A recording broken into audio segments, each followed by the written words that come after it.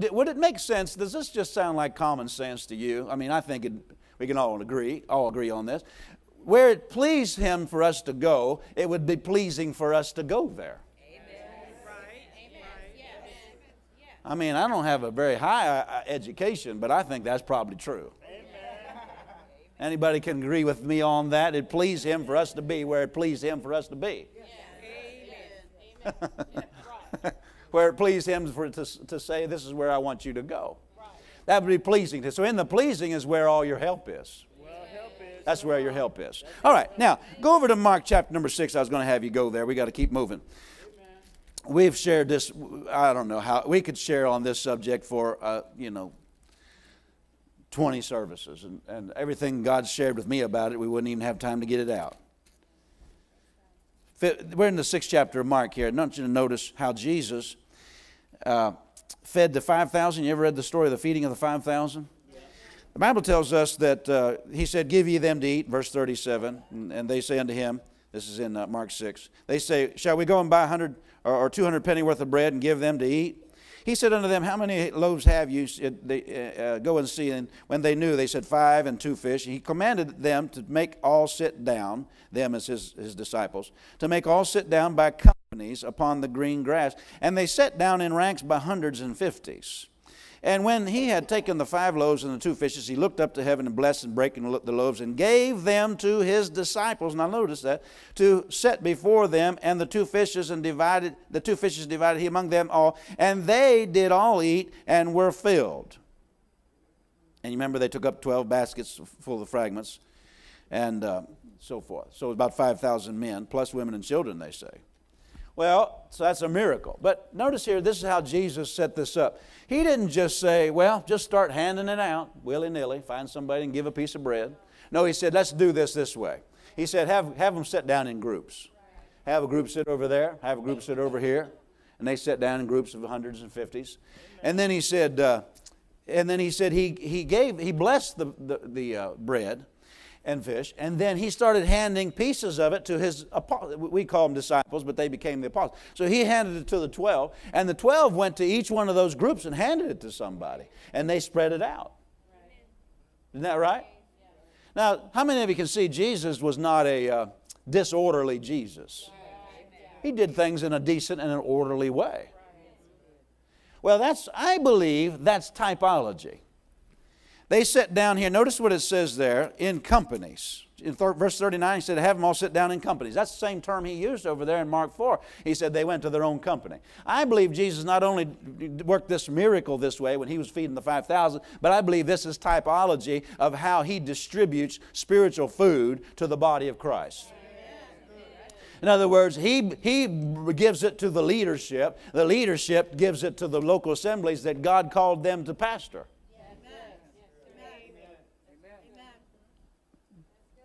Amen. Tell your neighbor, I think that's probably what he's talking about.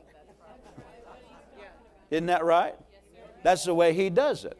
Now, notice it says over there, in fact, uh, well, let me say this. If you read through the New Testament, uh, you know, the, the, the, the uh, epistles, you'll find that the word church is used uh, about 110 times in the New Testament.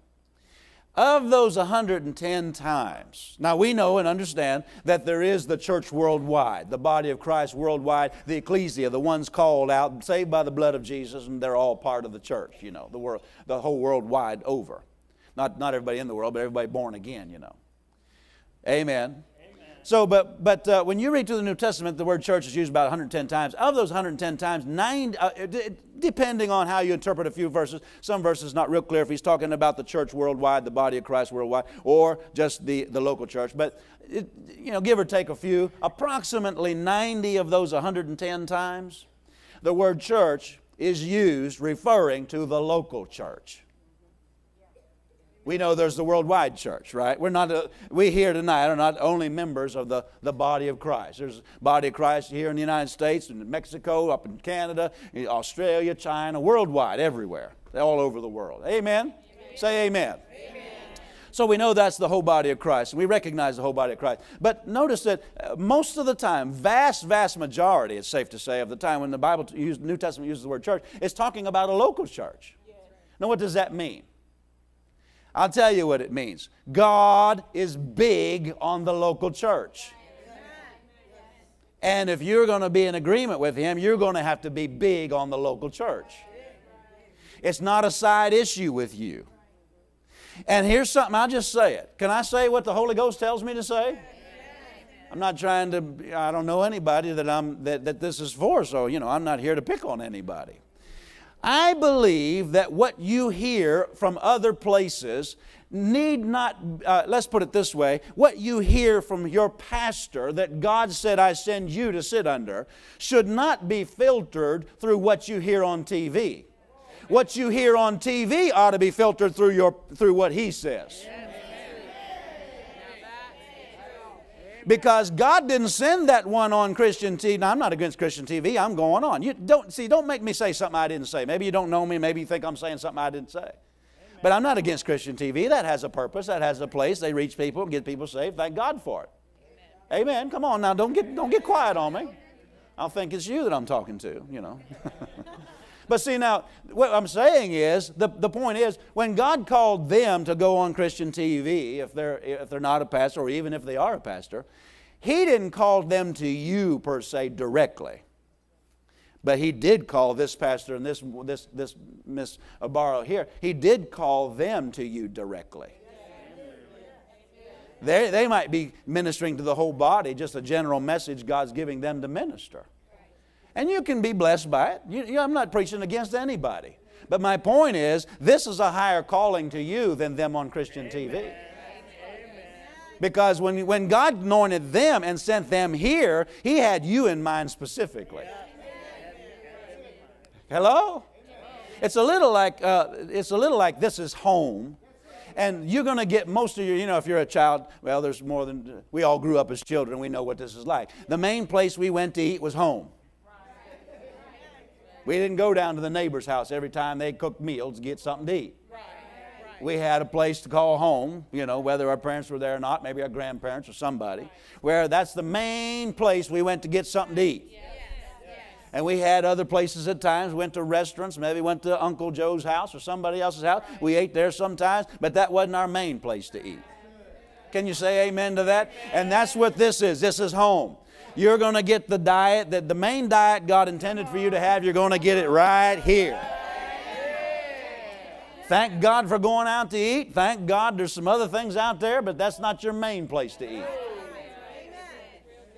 It's a little like taking vitamins. Amen. Dr. Dufresne used that illustration. I like it. You know, we can we, we, we have our meals we eat, and then sometimes we might get some supplements or something. You know, I'm not telling you to do it or don't do it. You do whatever you want to do, but Praise God for the covenant of healing. Amen.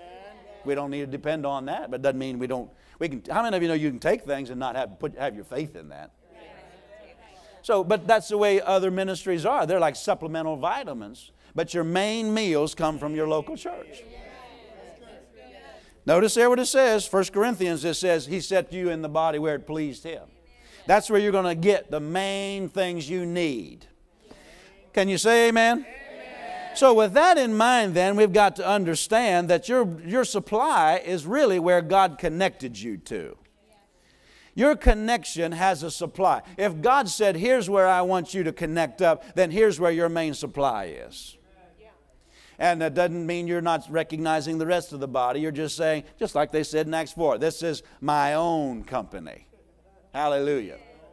This is my own company. Doesn't mean there's not other good pastors in town. I'm sure there are. And you're not, you're not, how many of you know you don't have to be against anybody to be for something? this is where God's called you, and I'm, this is where I show up. When church time comes, I show up. And I get involved, and I help, and I bring my supply.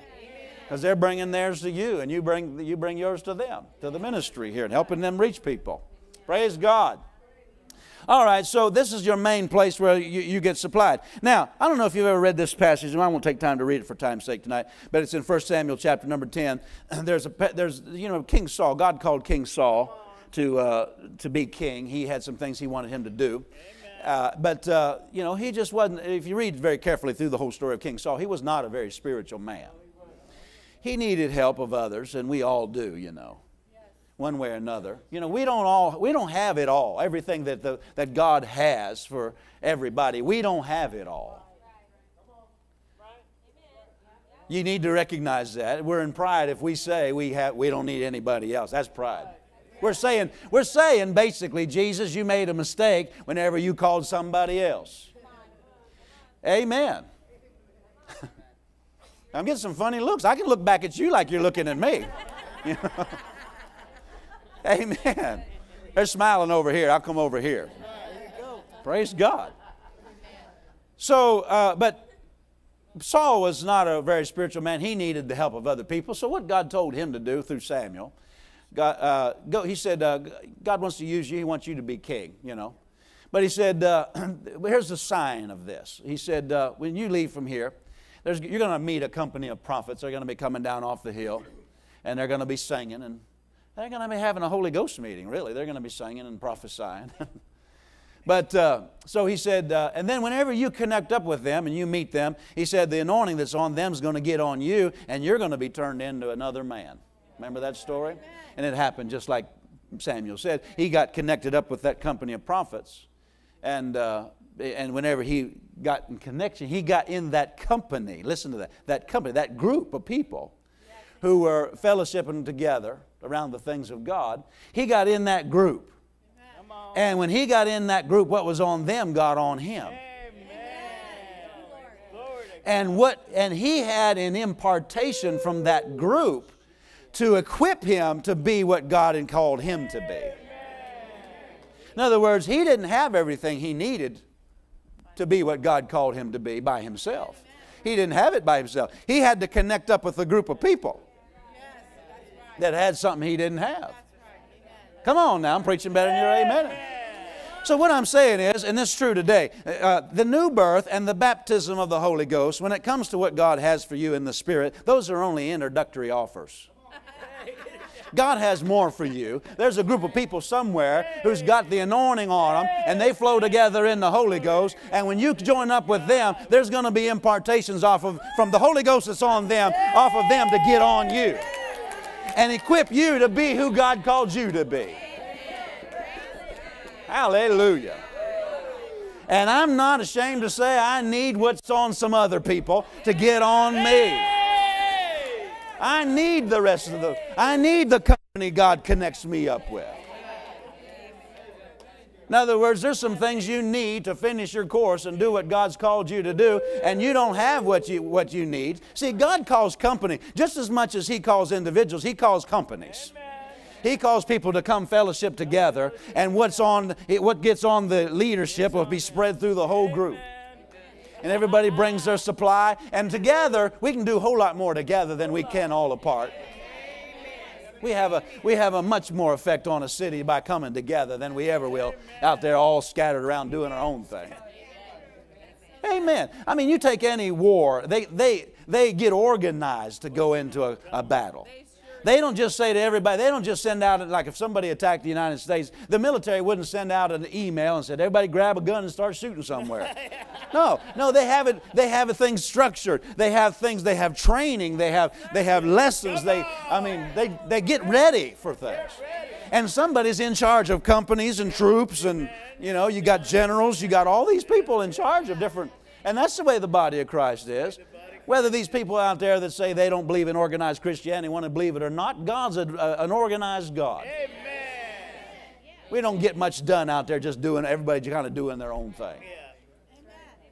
You know, if I'm called to do something, but, uh, but I'm not doing what I'm supposed to be doing, I'm doing something else, well, then I'm, I'm causing problems in two areas. Number one, I'm not bringing my supply that God intended me to bring to the body of Christ. And number two, I'm in the way of somebody else that God told them to do what I'm over here getting in the way doing. Amen. If to come here and do what they're doing here, I'd be wrong to come here and say, you know what, I sense the anointing on what you're doing. I think I'm going to move to Yuma and I'm going to start a charter school and I'm going to do this. And I, no, I don't need to, just because I sense the anointing on him to do it doesn't mean I need to get in on that. No, that's his thing. If I come here and try to do that, I get in the way of what God's trying to do through him. My goodness, I'm glad I came tonight. Uh, just because I'm not anointed to do what He's called to do doesn't mean I'm some lesser one in the body of Christ. I just, I just bloom where I'm planted and I just bring my supply where I'm planted. Glory to God. Hallelujah.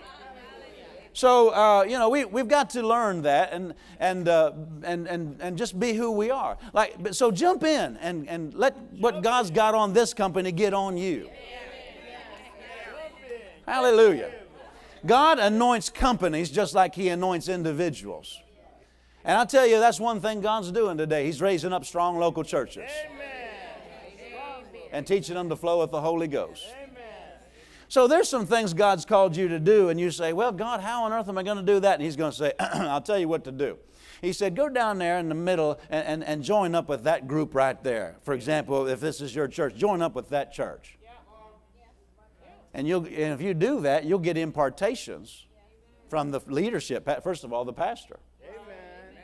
And uh, it'll get on you, and you'll be equipped to do. So basically, Saul was somebody he couldn't do what God, he didn't have the equipment to do what God called him to do. So God said, Here's what I want you to do. I want you to go jump in the middle of some of those Holy Ghost people over there. Just join up with them. If they're doing it, you do it. Hallelujah. So that's what God calls you to do. And somebody said, Well, that's just not my personality whenever they run the aisles and they do that. Wait, wait, wait, wait, wait. Did it please the Lord for you to come here? Maybe it's some things because of your personality that He sent you here, because to do what you're called to do, your personality is hindering it. So He wants to get you out.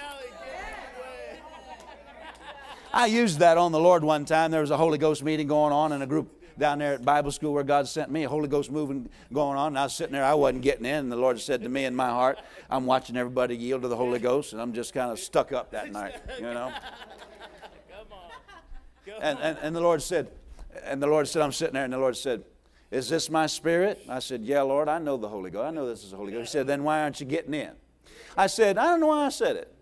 I really don't know why I said it. Some things you just say stupid things. How many of you ever said something stupid? I said to the Lord, I said, it's just not my personality. Oh. And you know what he said to me? And if you knew my upbringing, you know he hit me a low blow, but you know it was right. He said this back to me. He's because I grew up in a denominational church that God was depressed, so we all got in church and we got depressed. I mean, that's what we thought. You know, not that that's true, but that's what we thought. we all quiet in church, and if you raised your hands because you needed to go to the bathroom or something, you know. And, if you say amen, everybody jump. Like, what, what, what, what, what, what? Quiet down. Pipe down back there. Don't get too excited. So my personality was formed. This is what he said. I said, That's not my personality. He said, Yeah. And this is, I mean, he jarred me when he said it. It wasn't just my conscience, it was the voice of the Holy Ghost on the inside. He said, Authoritative. He said, Yeah, and your personality was basically formed by unbelief. Oh. I did that too. I went, Oh, Lord, you hit me a low blow. And when he said it, I started thinking, I thought, oh my goodness, you know, he's right. So he was trying to get me out of some things that were hindering me. You ask my wife when we first she first met me, she was really concerned because how on earth God's going to use God's going to use him. God told me I'm going to marry a preacher. How on earth is God going to use him? I'm so backwards and introverted, didn't didn't like people. How many of you know if you're going to be in the ministry, it'd be helpful if you like people? mean, I was introverted. I'd rather go, I'd rather go run the woods with my dog than be around people, you know. If I had it my way, I'd have gone out in the woods and live like Grizzly Adams, you know, grow a beard and drink branch water and just kill squirrels to eat, you know. but see, there were some things needed to change. I said there were some things needed to change just a 1%. Is there maybe just a 1% chance anything, maybe just a little thing, maybe just a one little percent of something needs to change in you? Anything? Anything? Possibly.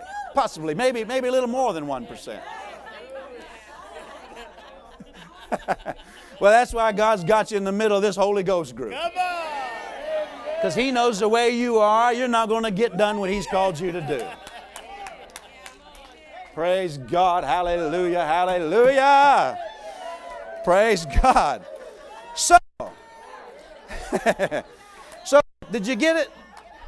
I said, in the kingdom of God, the new birth, because at, at the new birth, the Holy Ghost comes on the inside of you, doesn't he? At the new birth and the baptism of the Holy Ghost in the kingdom of God, those are only introductory offers. There's more for you in the Holy Ghost. And that's, that's going to happen as you get around this company of believers. That don't mean that you can't be refilled in your own private prayer time, like she was preaching last night, edifying yourself. But that, but it says we're to do that in private, and then it says in the, in the other book of Colossians we're to do it in public too. Praise God. Amen. Hallelujah. Well, the word's good, isn't it? So the, it's important that you have your own company. Now, uh, it could be life or death where you go to church. I know sometimes people hear that and they say, well, that doesn't sound right. Well, let me ask you a question. You know, if a place you go to church, uh, they, they preach that, you know, God puts sickness on you to teach you something. You're going to get sick there, folks. And whenever it's on you, you don't want to resist God, so you just let it run its course.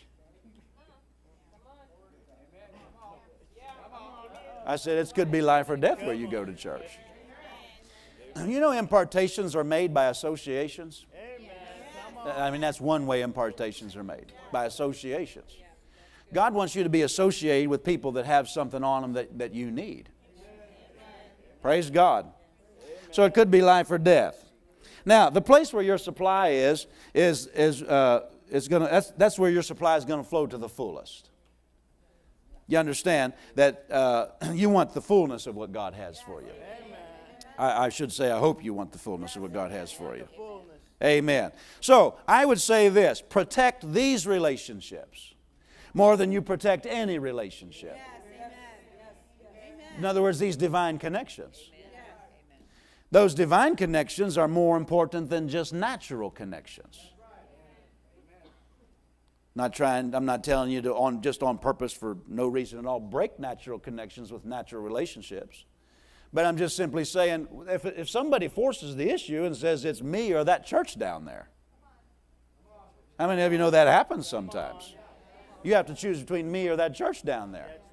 And you're just going to have to look at them with all the love in your heart that you can muster, and you're going to have to say, Don't do that to yourself.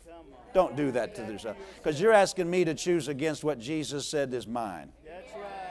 I, I, I, don't make me choose between Jesus and you. Don't do that to yourself. Come on now. See, we have to know that Jesus said there's going to be persecutions come for certain things. But he said, if you don't love me more than them, you're not worthy of me.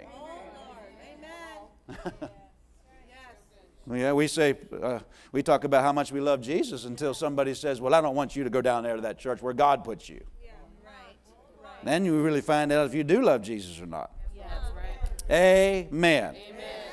Now, uh, in Mark 6, we, we didn't look at this, uh, we looked at the, another story, but in Mark 6, you'll remember this story, where Jesus went to a, a town there, and he could there do no mighty work. In his own, his own hometown is what it was. Could there do no mighty work. And you remember uh, that uh, there, was, there was really a spirit of unbelief there. And, he, and uh, because he could there do no mighty work, he laid his hand on a few sick folk and healed them. And he marveled, the Bible said, because of their unbelief. So, uh, what, what he's saying there is the spirit of unbelief that permeated that whole town, there are people there that could have, should have, and would have been healed if they had not been living in that town. Because it didn't say Jesus could do no mighty work, he said he could there do no mighty work. In other words, the atmosphere created in that town hindered him from, from really doing what he wanted to do. He could there do no mighty work. He only healed a few people of minor ailments, the Greek says. So what that's telling us is that, that there is, if those people in that town had been living in a different town Jesus came, there are people there that could have, should have, and would have gotten healed or received something that they didn't because they lived in that town. Am I adding something to that? No, he could there, there, could there do no mighty work. But he went over to Capernaum and did all kinds of mighty works. Isn't that right? So, the, uh, in other words, it's important who you're in the middle of. If you're in a place where Jesus can't move, somebody said, well, he can do anything. No, apparently from that verse, he can't do anything. He won't go against what people want. If people don't want to receive, you know, there are churches that the Holy Ghost is not allowed to move in. And you can't go there and get everything Jesus wants to do for you. I'm not preaching against somebody, I'm preaching for something.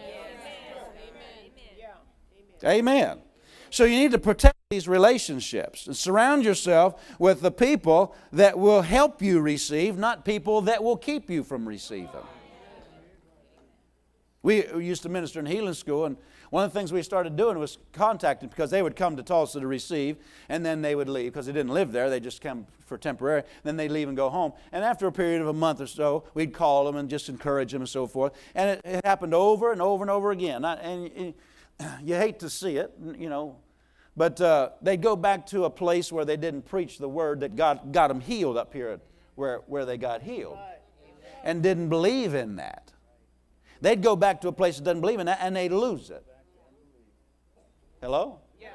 You know, there's three different times, uh, three or four, I think three of them I'm thinking of right now. Jesus had to take somebody outside the town to get them healed.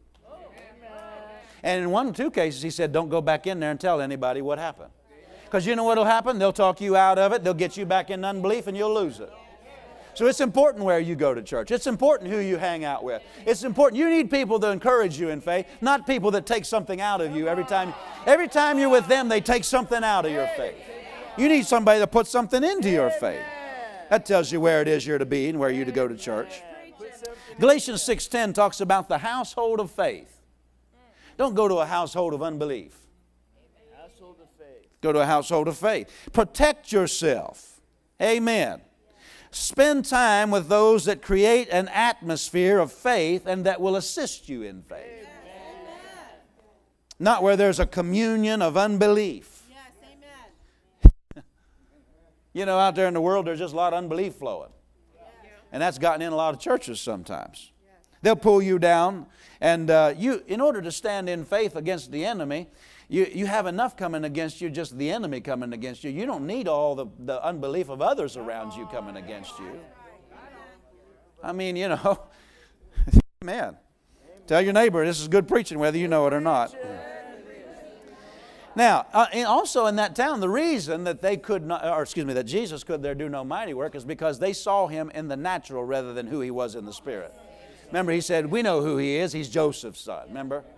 And you know they basically were saying, well, he grew up with he grew up with my son Joshua over here, or my son uh, Joaz, or you know he played sand, in the sandbox with my children. They, they just knew him naturally. Remember that they said uh, they just knew who he was in the flesh.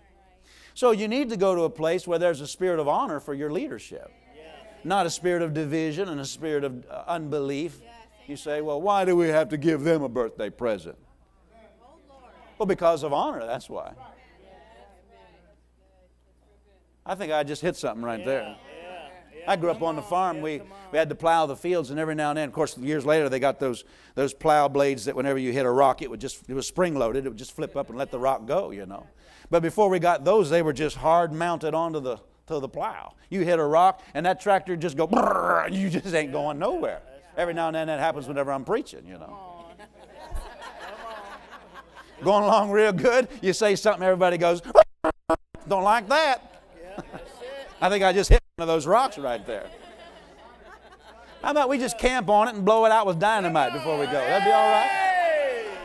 See, because I believe God doesn't just. I don't now listen to me. I'm not I'm not preaching against the fellowship of the saints because that's part of what God brings us into. When He brings us into a family, He wants us to be in fellowship with the whole family. But that's just a side benefit of the main reason God brings you to the place He brings you. He doesn't bring you to the place He brings you for the fellowship of the sheep, He brings you for the feeding of the pastor. Amen. The fellowship of the sheep is just an extra blessing on top of it. And we're to stay in fellowship with the sheep. Not preaching against that. I hope you understand what I'm saying. But the main connection He's bringing you to a place about is where you're going to get fed because of the anointing on your pastors. So before we go, before we finish up, let's put it that way. I want to magnify the pastoral office a little bit. Paul said, I magnify my office. You ever read that? I want to magnify that pastoral office. Amen. Because as important as the rest of it is in the fellowship of the church, the main reason God sends you to a place is to get you your pastor. Why? Because of Mark, uh, uh Matthew 9. Go over to Matthew 9 here. Anybody still getting anything out of this? Notice what it says. We could spend four whole services on, well, more than that, on the office of the pastor.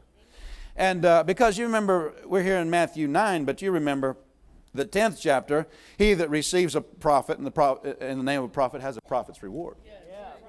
Well, would that be true? Because in the Old Testament they just had prophets, but in the New Testament we have the fivefold ministry. that would be true about all five of those fivefold ministry, wouldn't it? I believe it. I believe there's a prophet's reward in the New Testament, just like the Old Testament. I believe there's an apostle's reward. I believe there's uh, a reward for an evangelist. You know, receive an evangelist and all those. But but let's talk about the pastor's office. There's a reward for receiving the pastor's office. Well, a number of things you could talk about that reward. What is that reward? Well, the primary reward of receiving the pastor's office is having that anointing work for you, the pastor's anointing work for you. Amen. That's the reward. because whatever you honor, you tend to attract to yourself. Whatever you fail to honor, you tend to lose. Whether it's your marriage, your money, your body, or, or your pastors. That's the truth you tend to lose what you dishonor. You tend to draw to yourself what you honor. So the pastor's office, what is the, the uh, pastor's reward? Notice here in Matthew, Matthew 9, verse 36 through 38, he saw the multitude, he was moved with compassion on them because they fainted and were scattered abroad as sheep having no shepherd. So Jesus is seeing the, uh, the, the masses of people and he said they need a shepherd. So he said unto the disciples, The harvest is plenteous, tr- truly is plenteous, but the laborers are few. Pray ye therefore the Lord of the harvest that he'll send forth laborers into his harvest. And the context is a pastor. So, uh, not, not that the other laborers aren't necessary. He said all those laborers are necessary, but the context is mainly pastors. We need pastors. You need a pastor more than you need all the other ones. In fact, the other ones, to be honest with you, uh, you should be connecting with the other ones, mainly the ones God sends to your, your local church. You should be feeding on your pastor's materials, your pastor's wife. I'm sure they both teach and preach, but on their materials more than anybody. And second of all, whoever they're having in here. Come on. Then after that, amen. I said after that. After that. Somebody else that might seem to feed you or something. If you're not getting anything out of your pastor's ministry, one or two things is wrong. Number one, you're in the wrong place. Or number two, you're not properly honoring. I've had people that got fed for years and then they come up, they say something to somebody in the church. I'm just not being fed here anymore. I thought, that's funny. I'm feeding the same thing I always have been feeding since they've been here. It wasn't me that stopped feeding, it was them that stopped eating. Well, their heart used to be open and now it's all closed up because they let something get in, let some dishonor, let some gossip get in, some dishonor get in, some offense get in. Did you hear what the Holy Ghost said through my wife last night? The number one deception in these last days is offense, getting people disconnected from your supply. Amen. I, I, I caught that. That's that's. The Bible says in, in Matthew 9, no, Matthew uh, 24, he said there'll be many offended in the last days. Well, we're, we're going to not let that happen. You notice he said, here's, here's what belongs to us if we don't have a pastor. Same Greek word translated shepherds, translated pastor. We will faint and be scattered spiritually we'll faint. And uh, second of all, we'll be scattered. I'm thoroughly convinced that there's people that used to come to my church. Now, you understand, I don't believe I'm the only one in our city. Don't misunderstand me. Or I'm the only one that preaches anything that people can get fed on. But, I, but, but they themselves said, not me telling them to say this, they themselves said, God sent us here, Pastor. This is our church. We're going to stay put, so forth and so on. But for some reason or another, they got separated. And after they got separated, things start happening. Uh, like their family starts falling apart, their marriage starts falling apart. I've seen people, they lose their husband or their wife. You know, I'm not trying to push this on. I, am not glad in any, I'm not rejoicing in any of it. Don't misunderstand me. That's not my heart. I'm just simply saying we have to recognize these things happen. See, they open the door to the, to the enemy to scatter them. Scatter their health, scatter their money, scatter their kids. Amen. Give your children the habit of being in church, and you'll do more for them than any other thing you do. Give them the habit of being. See, when you you give them the habit of being in church, you give them the habit of being where God can get through to them. Amen. So, uh, so uh, he said here they're scattered. That could be a lot of different things. Could scatter. I've seen people go scatterbrained. Squirrely in their head. They, they used to just love the people of God, love church, love everything. But they let some offense get in, they get disconnected. And you meet them on the street and you don't even recognize them because they're deranged in their head. They're just not right. So the devil will scatter people that that's what belongs to people that don't have a pastor. Hello? I don't want that. Now, what that means is, is the pastoral ministry, if you'll sit under it and properly rece- receive it. Of course, you know, a lot of us, we're preaching to the choir here tonight. You know what that means? A lot of us might be doing that, but let's just go, keep on, let's just, just feed our faith here tonight. Uh, but uh, so the opposite is true. If, if uh, not having a pastor, the enemy can scatter things in your life, then what would having a pastor be? So one of the one of the rewards, remember the prophet's reward, the pastor's reward, there's different rewards. One of the rewards of staying with your pastor is you'll start gathering up the blessings of God. Amen. Rather than everything be scattered. Your kids be scattered, your money scattered, everything's scattered. You'll start gathering up those things that the enemy was scattering. Hallelujah. Now go over to 1 Thessalonians. We got we got so much we could say, we're running out of time. Go to 1 Thessalonians 3 here uh, we see in the First Thessalonians 3, verse number 10, Paul said this Night and day praying exceedingly that we might see your face and might perfect that which is lacking in your faith. See your face and perfect what's lacking in your faith. Now, let me ask you a question. Paul was basically saying, I'm, I'm, I'm, I'm looking forward to getting there. If you, if you read the second chapter up there in verse number 18, he said he kept trying to get there and Satan was hindering him. So he said, I want to get there and I'm going to get there. Because Paul's not a man, Satan might try to hinder him, but he's not, not going to let him stop him. He's going to get there. But he said, I want to get there. And he said, Because when I get there, when I see your face, I'll be able to perfect what's lacking in your faith. Now, it's not, it's not a criticism that we're lacking in faith in an area, because all of us None of us have been completely perfected in faith yet. All of us need some things added to our faith. And so Paul was saying, I want to get there and perfect what's lacking in your faith. Let me ask you a question.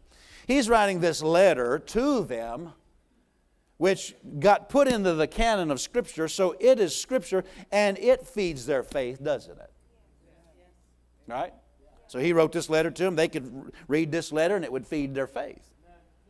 I'm not adding something to the word. That's right, right? So he sent this to them and it fed their faith.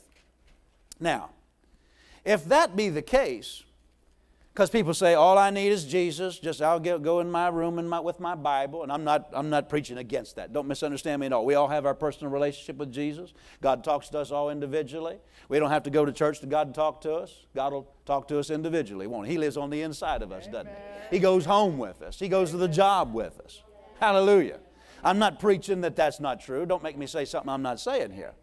I'm just simply saying there's some things that God's not going to talk to you about in that private time he, because He wants you to go to church and get it. Some things, not everything. You know? You know as well as I do that we learn better by somebody else who knows more than we do. And it takes us longer to learn it on our own than it does to sit under somebody else who knows it. People say, I can be a good Christian and, and not go to church. Well, let me ask you this. Uh, how, how much better is it to go to church? Like, let's take the school here, for example. How much better can a student learn math here or science here or whatever else here by going to school than they can at home? I mean, maybe, maybe homeschooling would work at home where somebody's teaching, but still somebody's teaching them there. That's what I'm saying. Somebody else is standing up saying, now here's how math works. Right?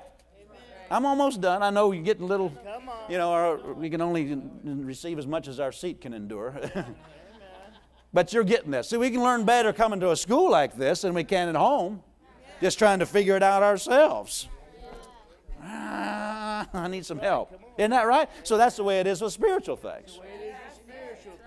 I don't know why we tend to think out there in the natural to, that to, uh, to be a doctor, you need to go get an education for that. To be a lawyer, you need to get an education for that. But to be spiritual, you don't need anybody else to help you be, get an education on that. What on earth are we thinking? That's not clear thinking, that's for sure. So Paul said, I, want, I sent you this letter. Of course, you can feed your faith with that. But he still said, There's some more things I can do whenever I'm there just face to face with you. Can you say amen? amen? Now, I'll tell you why. Because this is, this is a scriptural thing God put into place. I, I could give you some examples. Like, for example, uh, uh, well, let me, let me tell you why Paul said this, and I'll give you the examples of it. Because there's something about your pastor is, has an anointing, and, and his wife. I'm talking about both of them when I say that. They have something on their life that when they get up here under that anointing and they see your face, Yeah. sometimes whenever you see somebody, it's not until you see their face that something starts stirring on the inside. Have you ever had that happen? That's a silly question. You probably have, I mean, more often than not. Amen. When you see them, there's something starts stirring inside. Now, somebody said, Well, I don't know if that has to be that way, though. Well, let me ask you a question. Remember in Jesus' ministry, over and over again, it says he saw the multitude and he was moved with compassion, and the Holy Ghost started flow, flowing whenever, the, whenever he saw and was moved. Isn't that right? And then we in the Old Testament, we've got Samuel going down to Jesse's house to find David the king. He didn't know who he was at the time, but he's looking for David. And he kept saying, and then Samuel uh, said, Okay, where's your boys here? And he, Jesse kept bringing the boys by, and God kept saying, It's not him, not him. But God wouldn't speak to him about who it was. He just kept telling him who it wasn't. And he never would say who it wasn't until they stood right in front of him. Well, why couldn't God just tell Sam, uh, uh, uh, uh, Samuel, the prophet, over there where he was in prayer whenever he said, Go down there to Jesse's house? Why couldn't God just have gone ahead and said, It's David? His name's David. He's a little run of a kid. He's out there watching the sheep. Don't even go, don't go through the rest of them. It's David. Why couldn't God just do that? Well, he could have if he'd have wanted to, but he didn't want to. And that's the way it is with local church. God could just tell you everything you need, to, need at home without you going to church, but He just doesn't want to. I said He just doesn't want to. Come on now, I'm preaching good. There's something about God said, I want you to connect up with this man, this woman of God, and when you stand and they see your face, I'll move on them and stir something in them and get them to say something that you needed because whenever they saw your face, something started stirring in the Holy Ghost on the inside, and God, the Holy Ghost, took them a direction and ministered to your need because they saw your face. Now, in uh, 1 Peter 5, I'm almost done. We're wrapping this up. We, we got about 10% out tonight. What we could have said, should have said, maybe. But you know 1 Peter 5. Notice what it says here. Praise God. A little different tonight, but we need this. We're reading here in the fifth chapter, 1 Peter chapter 5, and then verse number uh, 8 and 9. It says, Be sober, be vigilant, because your adversary, the devil, as a roaring lion, walketh about seeking whom he may devour. Whom resist, steadfast in what? The faith, knowing that the same afflictions are accomplished in your brethren that are in the world. In other words, everybody goes through those things. So he said, the enemy, the way you're going to resist the enemy is be, with faith. You can't say, I've been a Christian. I love God. Well, bluebirds love the Lord, but isn't that right? I mean, that's a good thing to love. You, you, you, don't misunderstand me. It's a good thing to love God. That'll help you a whole lot. but my point is, whenever the devil's around, you're going to have to resist him in faith. Now, all right. So when it says, put, put those three verses together, put together what Jesus said uh, sheep are scattered without a shepherd. Put that with what Paul said. He said, there, I long to see your face and perfect what's lacking in your faith. With what Peter said, he said, you're going to have to stand against the enemy by faith. The word scattered in Matthew 9, there it says, sheep are scattered. It, lit, it doesn't mean they just wander off. Sheep do do that. They do wander off. But that's not what that word means in the Greek. It says the sheep are scattered. The Greek says they're chased as, as by a predator. So this is the enemy coming and trying to scatter them, scatter their marriage, scatter their finances, all those things, all the blessings of God. He's just wanting to get it out of their life and scatter them. All right. Well, how do you resist the enemy? Peter said you're going to have to stand against him by faith. So, how do you connect that to the local church? Well, the reason you're going to gather up the blessings of God by connecting right to your local church is not because that the, the, the, carpet's beautiful, the singing's wonderful, and the pastors, although this is all true, the pastors are good looking and everything like that. Or they have great management skills or leadership abilities. All those things help, of course. You need that to be pastor, but that's not the point. The point is because of the anointing on them to see your face and speak into your faith to give you what your faith needs to stand against the enemy. And that's why your life isn't scattered. That's why you need a local church. I said, That's why you need a local church. And guess what? There's something, sometimes Christians, they say, well, I just, I, I, they think it's a faith problem. I just need to get stronger in faith. It's, whenever, according to what Paul said there, it's not as much a faith problem as it is a face problem. What do I mean by that? The man of God who's anointed to help you feed your faith never sees your face.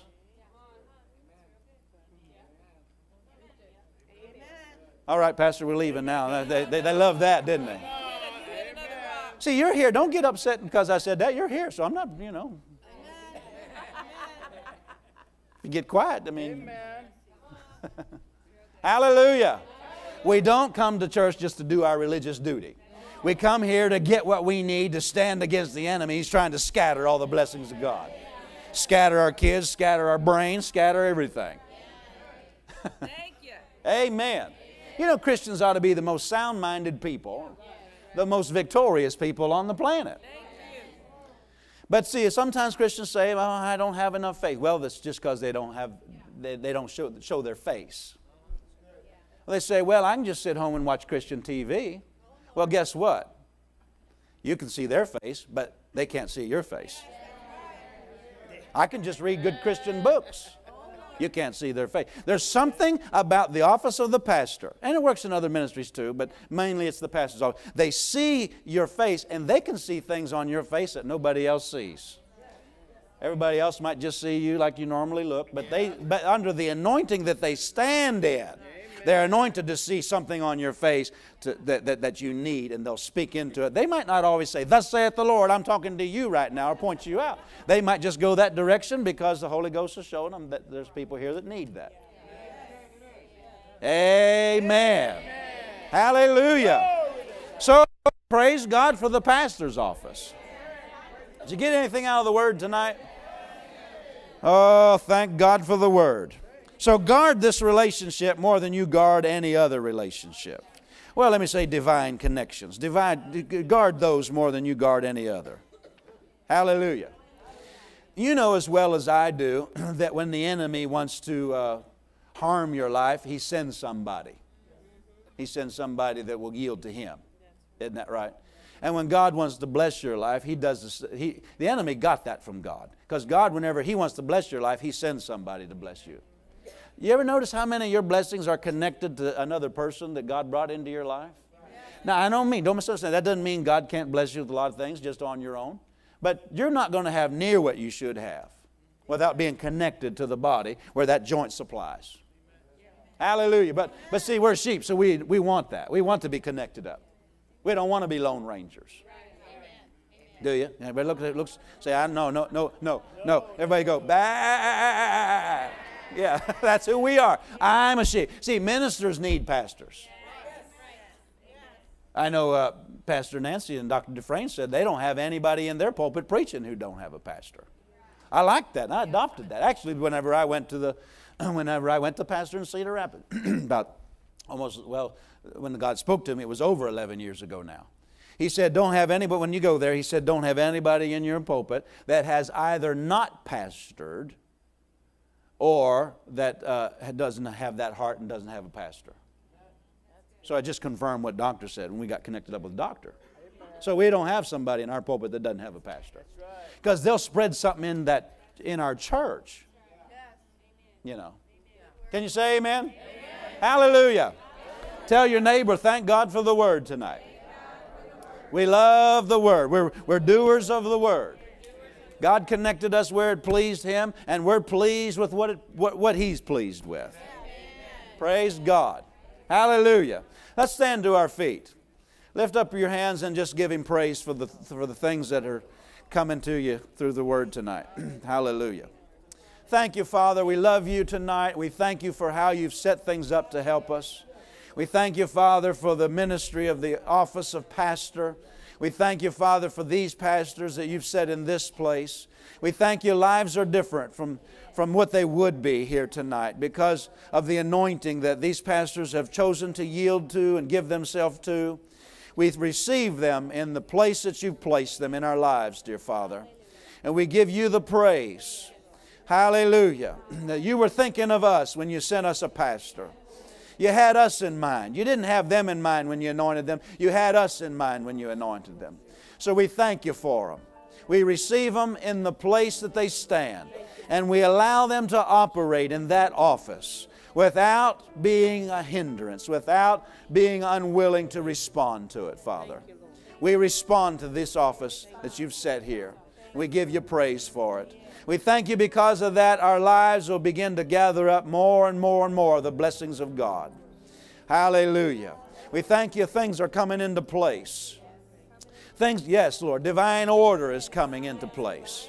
Things that otherwise would not be in place are being put in place. In Jesus' name. Hallelujah.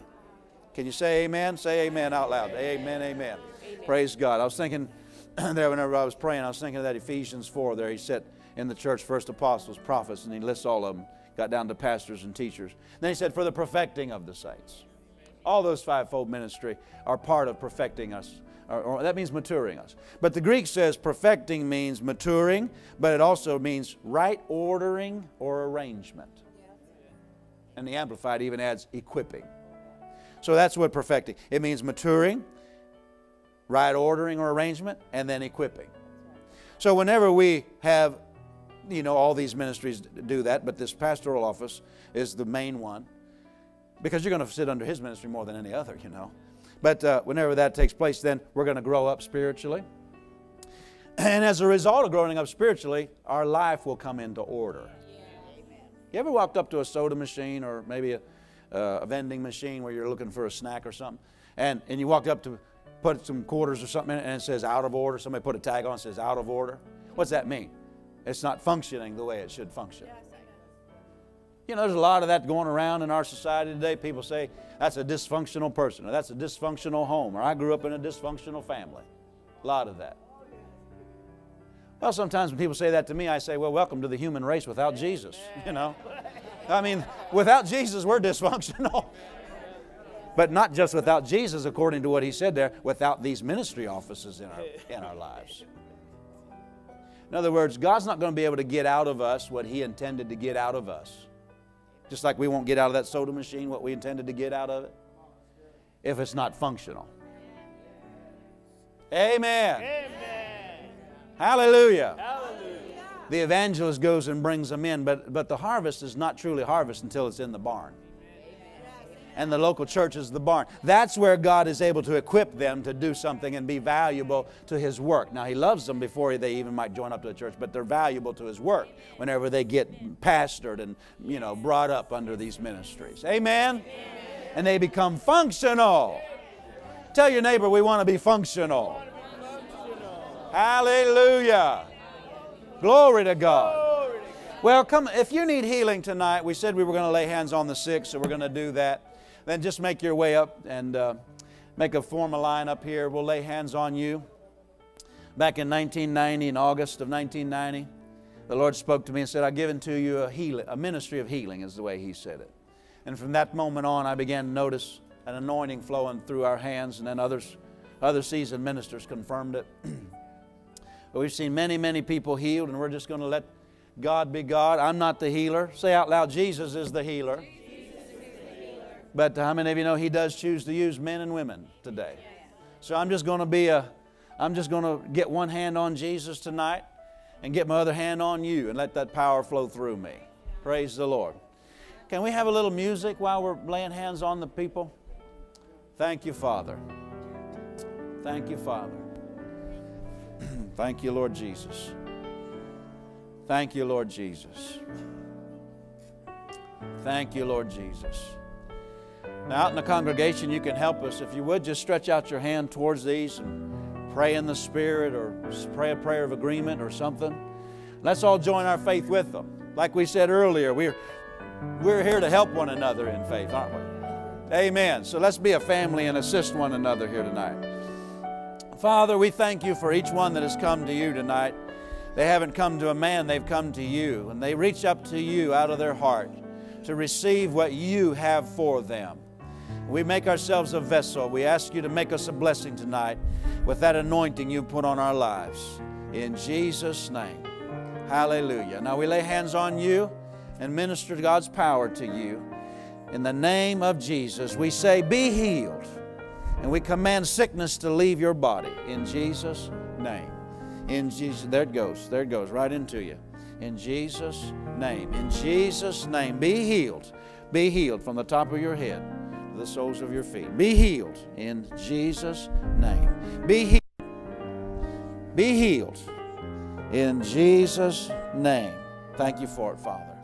In Jesus, oh, there it goes, there it goes, there it goes. Master Kichi, be healed in Jesus' name. There it goes. It just started going into you. Reach up your hands and say, Thank you, Lord. Oh, there it goes again. Just shot out of me. yeah, just say, I receive it. In Jesus' name. In Jesus' name. Thank you. There it went, right, right into you. In the name of Jesus. In the name of Jesus. In the name of Jesus. In the name of Jesus. What have you been dealing with? Back. Back? Did you hurt it or is years ago. In the name of Jesus, I lay my hands on you and I command that back to be healed. There it goes, my, my. In Jesus' name, in Jesus' name, in Jesus' name, Jesus' name, in Jesus. We lay hands on you. We release God's power in Jesus' name. In Je- there it goes, right into you. In Jesus' name, be healed. In Jesus' name, be healed, sir, by the power of God. In Jesus' name, in Jesus' name. Have you come for healing? Yes. All right. In the name of Jesus. Just receive that, sir. It went right into you. In the name of Jesus. In the, oh shit, there, there it went. There it went. Went right into you, honey. Right into you. Be healed in Jesus' name. Mashiki. Mm, be healed. In Jesus' name. In Jesus' name. In the name.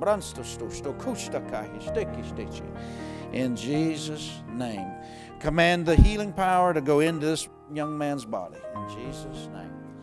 In, oh, there it went. There it went. In Jesus' name. In Jesus' name.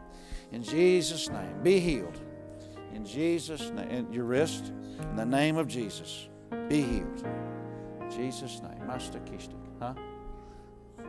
In the name of Jesus. Oh, Shaka Yenta Brasa Siki. Boy, these young people are receiving.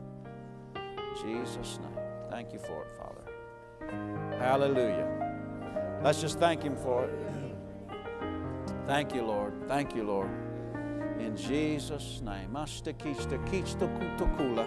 Ento frufasia. Ho shakute kiche kiche kiche kiche. Hallelujah. Okay, sure.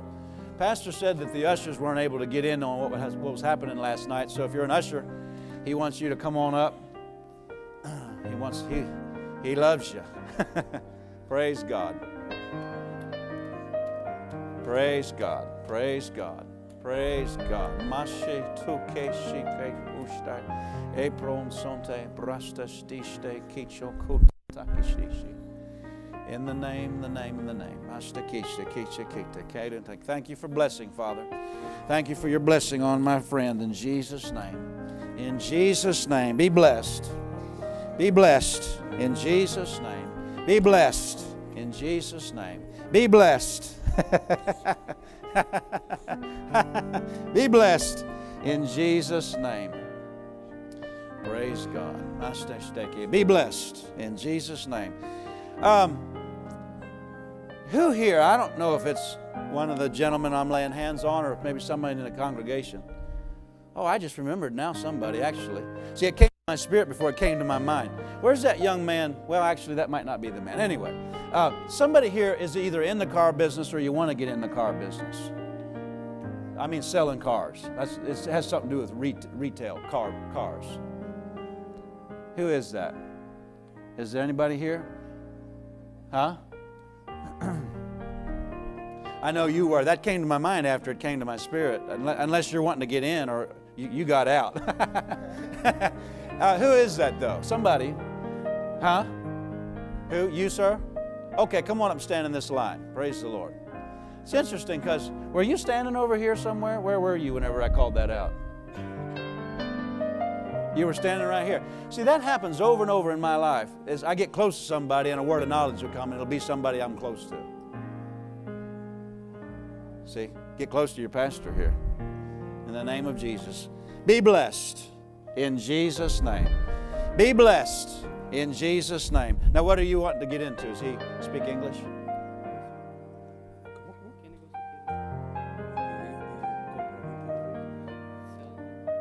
Do you, are you wanting to get into it or are you in it now? He wants to get into it. All right. In the name of Jesus. You ready to claim that as a job? Okay, raise up your hands. Say to Jesus, I receive.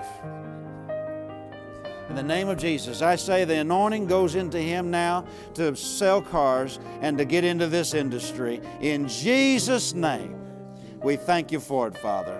We thank you for all the skill that he needs, impartations of, of uh, ability, impartations of wisdom, and favor for him in the name of Jesus. Now, that angel that's standing here, go. Go and bring him that position in Jesus' name. Hallelujah. Woo! Glory. Hallelujah. Praise God. Well, I believe we can give God a shout and thank Him for what we've received tonight. Hallelujah. Hallelujah. Thank you, Lord. Oh, my, my, my. That angel's here still for somebody else. Somebody else. Ah, if there's something you need financially, get up here real quickly. Get up here real quickly. There's angels here for, for help to help bring some money in tonight. I thought that was it, but there's still, I kept saying there's, there's more, there's more, there's more. You need some finances. We're going to commission the angels. Hallelujah. My, my, my. Shukuluna. Now, those angels that are here, we, we call them to come and assist these and, and bring the money in. And bring the money in in Jesus' name. To bring the money in. Now, those of you that I'm laying hands on, stay up here for a moment because we're going to do something. Bring the money in. The angels are here to bring the money in. In Jesus' name. In Jesus' name. In Jesus' name. In Jesus' name. We thank you for the ministry of angels in all of these lives. In Jesus' name. In Jesus' name. Thank you, thank you, thank you. Now, let's do this. Your angels are here. I'm telling you, I don't make these things up. You, you get, you get, uh, you get uh, eventually found out to be a fraud if you start making stuff up. How many of you know what I'm talking about? So, but I'm telling you, there's angels here to bring things into people. Now, uh, you, you have to be obedient to the word for this to work. But I want those of you that are in the line, I want you to, you came up here for a certain reason, so I want you to get that in your mind, what that is that you need. If it's a job, or if it's some rent money, or if it's whatever it is. So you need some sort of finances. I want you to get that in your mind, what that is right now, all right? And then, now everybody got it? Yes. Everybody hold your hand up if you got it. Now, say this out loud while your hands are raised. Say, Dear Lord Jesus, I thank you that I am the, a child of God and that I am blood bought and I am an heir of salvation. And the angels are ministering spirits that are sent forth to minister for me, who am an heir of salvation. Thank you for it, Lord. This is part of my inheritance. That they work for me and they assist me. So, right now, I commission the ones that have come into this service to assist me in my finances. I say to you, in ministering spirits, go, cause the money to come. I release you now. Satan, you take your hands off of my money. I claim what I need. Now say it out loud to God right now, whatever it is. I claim that, I claim that money, I claim that job. Say, angels, go in the name of Jesus. Hallelujah.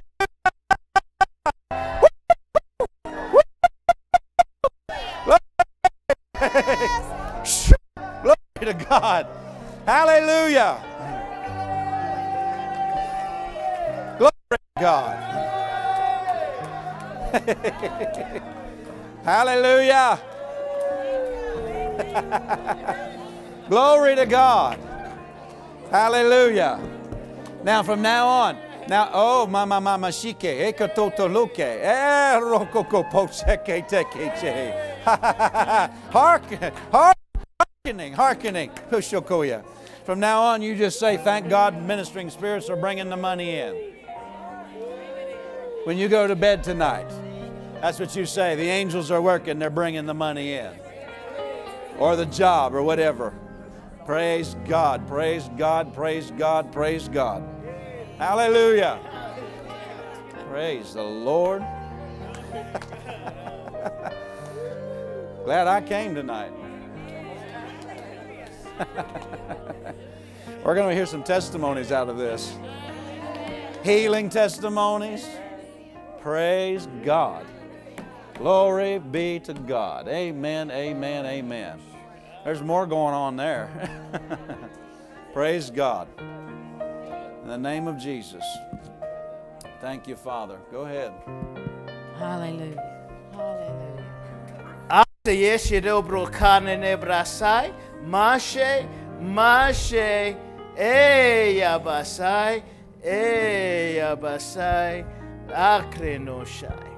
Yea, and the Lord was saying to you that this is the time and a moment and a word for you. And yea, that word is going to go in, it's going to make changes if you'll obey. And it'll rearrange and reorder and re guide your life and the life of your family. But somebody has to obey. If you receive it and take it tonight, it'll change you and everyone around you. The blessing on you forever. E yabasa today. Whoa.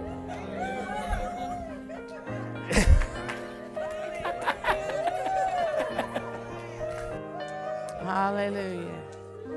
Here she goes. Hallelujah. Hallelujah. Hallelujah. Hallelujah. What a word. What a word. What a word. You know, as Pastor Jay was preaching, I want to just make something, uh, I felt just a little clarifying. It wasn't my whole life that I understood that attending a church didn't make you have a pastor. A pastor is that person that he's talking about that you understand the office, you honor the office, you yield to the office, you submit yourself to the office. And it's preferably better to have one. Amen. You got to understand where you're supposed to be and get there. Amen. And so there's some people in this church that Pastor Mario and I have been dealing with that have been attending here for quite a while, but they don't come to us when they have issues in their lives that they need direction. They're not financially going where they should be going. They're not moving where they should be. And it's not everybody now. This is a select few. And God just, the way we change that is just make a little adjustment down on the inside and say, I see that word, I hear that revelation, and I'm just going to make that little adjustment down on. And I'm going to yield myself to the office of the pastor. Amen. Because I'm where God wants me to be. Know that. Amen. And you're going to watch your life change. Pastor and I have done it. We've lived without a pastor and we lived with. I'm going to tell you, with is much better. Amen. Amen. Amen. Amen. Why don't you be seated just for a moment? Hallelujah. Now, so some of the things uh, Pastor Jay was talking about are, uh, you know, he's talked about uh, the ministry gifts, and they are a ministry gift to the body of Christ. I want you to understand that they're a ministry gift to the body of Christ. Now, what you were allowed to do is to come into their room. You were allowed to come into their room, their spiritual room a powerful spiritual room. If I if I have somebody come in and I invite somebody into my house, I don't invite everybody into my house, but you come into my house, you get to partake of the blessings in my in, uh, in my house. You know what I'm saying? If I invite you to to be part, come into my office, in my my pastor's office, or my my uh, my ministry office, or my office in my in my in the school, you come into my office, and there are certain certain benefits to that there are certain benefits that come into the into the when you come into the office. Well, today you stepped into their office, their ministry office, their ministry. I'm sorry, not their office, their ministry room. Does that make sense? You stepped into their room, and so you partook of some benefits, and he was talking about the rewards to that. There's spiritual rewards to that, spiritual blessings. Amen. And so you have an opportunity tonight because you received of his spiritual blessing. Now you have an opportunity. What a wonderful thing to, uh, to be a, a blessing back. I have someone just recently that we've opened our room to, our house to, our natural house, and they're partaking of some blessing. But they're, at some point they start saying, I want to give something back. Or I asked them to, I asked this person to do something, and because they're partaking of benefits, their, their, their heart wants to give something back. Does that make sense to you? I mean, if you're homeless and you get to live in somebody's house and you're living for free, eventually, somewhere in your heart, you're going to want to give something back. Amen. Well, this is the same way when you when you uh, you got revelation tonight. You received spiritual revelation on some things. You got some spiritual benefits. Amen. some spiritual benefits that are eternal. They are eternal. In heaven and earth. I had some guy text me today. Here's a, a couple. A couple left um, our church because they wanted a better children's program for their. You know, we didn't have a a little candy bar. There was a bar or something that they, you know, some of these churches put out bars, you know, for their kids. So they left the, they left the church and they went over there so their kids could have, you know, these goodies during the during their children's ministry. So he texts me and he says, you know, Pastor, I'm ha- I had I had three dreams and and these dreams are dreams that I'm going to hell. These dreams are I'm in hell, I'm in hell, and I, Pastor, what is that? What is that? I'm timid and I'm in hell. And what does that mean? He's texting me. He goes, I'm having these dreams about going to hell, going to hell. So I text him back and I said, Well, you're in darkness and you're on the wrong path, for one. And you need to get back to the church or the place where you're supposed to be because you're on the path to darkness and you're going to end up in hell if you don't straighten up. And three times is a clue. Amen. Amen. Amen. This stuff is real what he's talking about. This is a real deal that he's talking about. You get disconnected from your supply, you end up into some dark places, and then you want to blame it. Well, I don't want to. Just get right. Just be right. Stay connected. Amen. Amen. What a wonderful opportunity to partake of a ministry gift like Pastor Jay and Pastor Debbie. Amen. I mean, wasn't this beautiful? Amen. Let's just lift our hands and thank Him for it. Father, we thank you, Lord, for the opportunity, Lord, to enter into their room. Father, we receive it tonight. We receive it tonight with honor, and we honor them tonight. We honor them tonight with the offering, Lord, and we honor them tonight with our words, and we honor them tonight with our heart that they've taken us into deeper places, that they've taken us, Father, into realms, Father, that we need, Father, for this season. We need for this season. And so, Father, we sow our seed tonight into their lives. And we thank you, Lord, that they, Father, are benefit. They will benefit from our offering, Lord. And they will benefit, Lord. And that, Father, they will continue to spread the gospel across the world. Father, we thank you, Lord, that it will be deposited into churches like ours. And it will change us, Lord, and bring us up to another place. And we thank you for it. We thank you for it in Jesus' name. Amen. Hallelujah. So everybody gets an envelope, including myself. I got mine up here. Everybody gets an envelope. Amen. Everybody. See, here's the deal with this: is that is that if we if we uh, remember, it's what you give. It's a heart. It's your heart giving. Amen. It's your heart giving, and I want you. To, I want you to understand that. MJ, you got a, you need an envelope. I think you have a debit card or something, don't you? Yeah, amen. He's a giver. We got to teach our kids, amen. Got to teach our kids how to give early on. Does anybody need an envelope? Robert, you need an envelope? You got one? If you don't have any money, get one and, and put it in faith. Amen. Put, you know, amen. Give one and write down, and before you know it, you start giving in the natural. Got to do something. Amen. Got to do something. Hallelujah. these lessons, these are, are, are powerful lessons that we learn. Amen. Hallelujah. Young people, I was very proud of you tonight.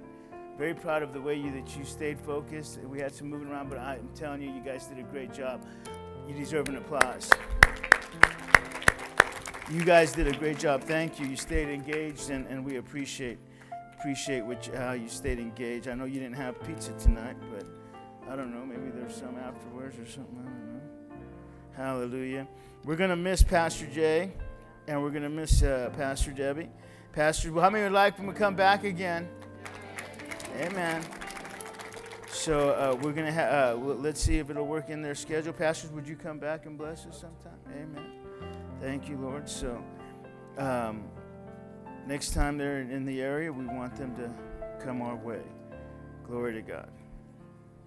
Hallelujah. How many did you like that testimony Francis gave last night about her teaching her children to lay her hands on her car and all of a sudden that money showed up? That's what he was talking about today. Right now, when you got when you came up here for that financial blessing, he blessed you, and you charge your angels, and now all you got to do is just thank the Lord for it. Amen. Just thank the Lord for it. He'll bring it. He'll bring it for you. I, am you know, I, I you, I have so much on my heart. The Lord's going to do some powerful stuff with us, and you're going to be part of that. Amen. Hallelujah. Amen. Lift up your offering.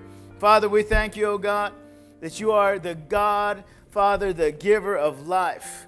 And Father, we step into life tonight. And Father, we give, Father, with a, with a joyful, cheerful heart tonight. And we sow our seed. And we know, Father, that this is a time, Father, where we are able to plant. And as we plant our seed, we know that it will produce for us. We thank you, Lord. We thank you, Lord, Father, that it will, it will grow. It will grow, Father. It will grow. First the bud, hallelujah. Then the ear, then the full corn, Father, in the ear. We thank you for it. We thank you for it, Father. Hallelujah, hallelujah. Thank you, Jesus. Hallelujah. We thank you, Lord, that we will reap. We will reap tonight. We will reap, Father. In Jesus' name, in Jesus' name. Hallelujah. There's a strong anointing on this offering. There's a strong anointing. You feel that? There's a strong anointing on this offering right now. Hallelujah. So, Father, we sow it, and we sow it in Jesus' mighty name. We thank you. So I want you to say this Father, in the name of Jesus, I receive the harvest. In the name of Jesus, I thank you. I expect a blessing. I expect finances. I expect buildings. I expect material things to come my way for the glory of God. In Jesus' name I pray. Amen. Hallelujah. Hallelujah. In Jesus' name. Amen. Hallelujah. I'm going to tell you, in this, when I started praying over this, I started seeing the harvest. I started. Did you see that, honey? Were you feeling that? I started seeing the harvest already on this, on the offering this giving. What happened here tonight? Amen. Thank you, God. Amen. So let's receive it. Hallelujah. Thank you, Jesus. Usher serve the people. Hallelujah. Hallelujah. Hallelujah. Hallelujah. I have computers over here for you guys. Did you see? I, I don't know. You got your faith out on that? I came over here and I just saw computers. Hallelujah.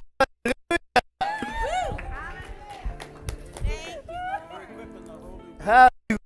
Oh, you're equipping the whole new building? Eh, thank you, Jesus. Hallelujah. Hey, hey, they're the ones that are needing them. Amen. Hallelujah. We have them. You have them. We have them. We all. It's good. Glory to God. Amen.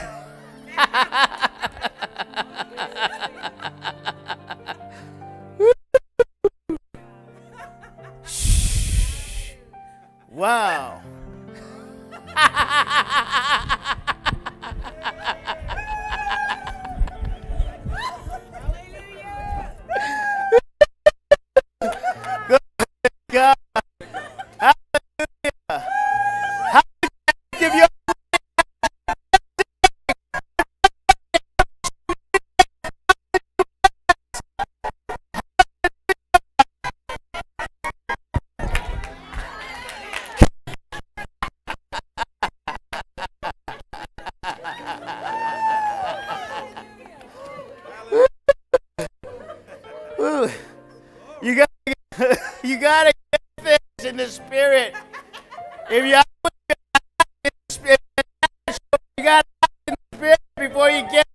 in the natural. Wow. Woo. Hallelujah. Stand with me. We're bless you as you go home. Hallelujah. Hallelujah. Hallelujah. Thank you, Father. Let's just lift our hands. Father, we thank you for these series of meetings. Father, we've been changed. We've been changed. We've been changed. So we receive it. We thank you, Lord. We count it an honor. We've sowed our time. We've sowed, Father, into you, and we receive it. We receive the blessing. And thank you, Lord, for it. In Jesus' name we pray. Everybody said, Amen. Amen. Somebody before you leave the house. We love you. See you Sunday. Amen. God bless you. Hallelujah. Carissa, you can uh, throw some music on there.